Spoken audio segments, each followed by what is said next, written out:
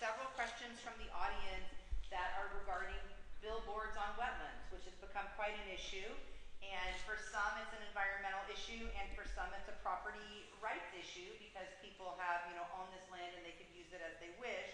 So a lot of people are wondering what your position is regarding billboards on the wetlands, if you would pledge not to allow others to use your image on billboards in the wetlands, and if you are committed to not um, having them, you know, trying to prevent them from being in these fragile parts. So I think this time we start with Mr. Kamada.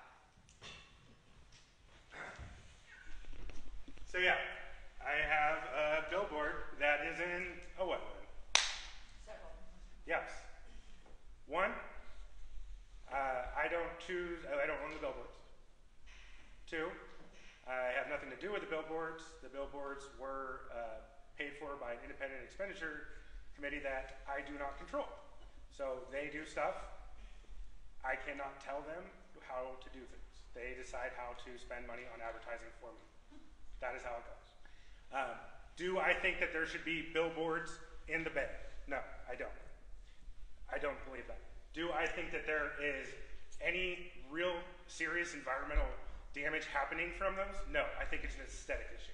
And I come from that from knowing uh, someone that has a degree in environmental science, someone that was named prosecutor of the year for protecting our watersheds, I understand these issues, but this is the kind of thing that happens in politics. They want to try to find any single way to challenge your character. That's, that's it. And the fact that I have a billboard with my image on it in the bay does not bother me. I think that uh, you know, those are property rights for those owners of that. My personal position is that at some point uh, the Coastal Commission should remove them because they are a blight. Not exactly when my son's up there because that's beautiful. But. And Mr. Acosta.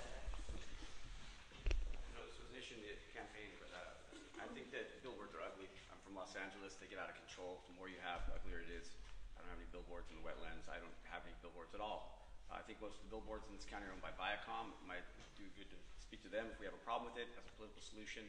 Um, other than that, if it's compliant with the Coastal Commission's regulations, I don't see the complaint about Mr. Kamada's billboard. Um, not that I would do it myself because I don't find it aesthetically pleasing, but I don't see a legal problem with that. Thank you. Thank you. Thank you.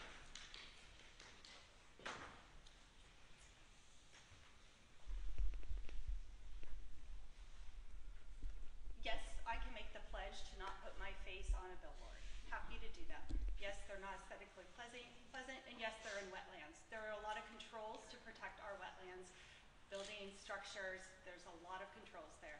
But really what I want to address here is the absence of transparency. What you were just told is that a professional portrait of Mr. Kamada and his family that's up on billboards throughout this county that he, in quote, says he has nothing to do with.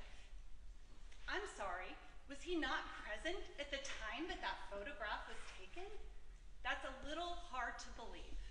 Folks, we don't know who's paying for those billboards. Those billboards, those billboards excuse me, there's an absence of transparency. So someone that talks about transparency, who talks about the district attorney's office should put every case up on social media, even for people that are found to be innocent. He's now telling you that he knows nothing about who's paying for these billboards, how much money's going to it, who's behind his campaign. A complete and utter lack of transparency. Someone you cannot trust. I'm sorry. I have to respond to that. I have to respond to that, You Zach. have a 90-second rebuttal. That, that's absolutely How ridiculous. about the 460? I, I, that's absolutely ridiculous. The 460 says, is there an independent expenditure thing? I wrote the name of the committee. You can get those forms. The fact that Ms. Eads does not understand how disclosures work or how campaign finance works, that's not my fault.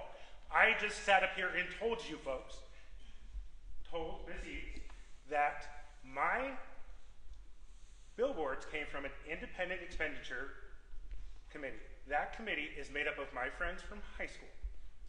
So if you want to talk to my friends from high school that are putting up those billboards, go ahead.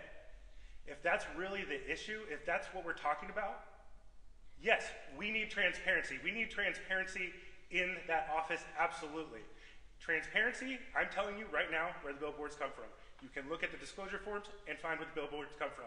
This is a false attack, and it's absolutely ridiculous. So, grow.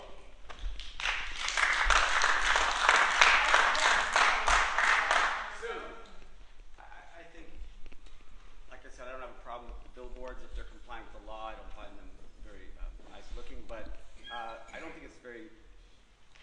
It doesn't put me at ease that Mr. Kamada says he doesn't have control over his supporters that are displaying his image for this campaign around the county. If he doesn't have this control over his supporters in this campaign, how is he going to have control over his staff if he's a DA?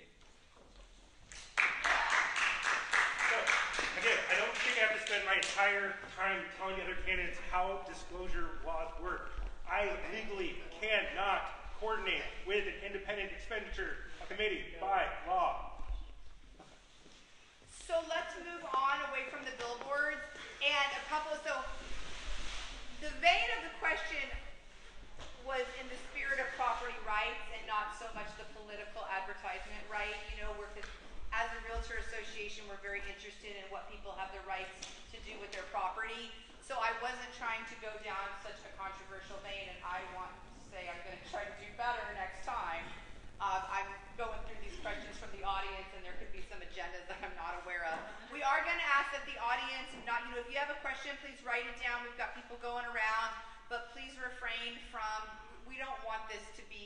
contentious. We're so happy that the candidates have joined us today to share their political views with us. So I'm going to try to go back to property rights, but in another way. We are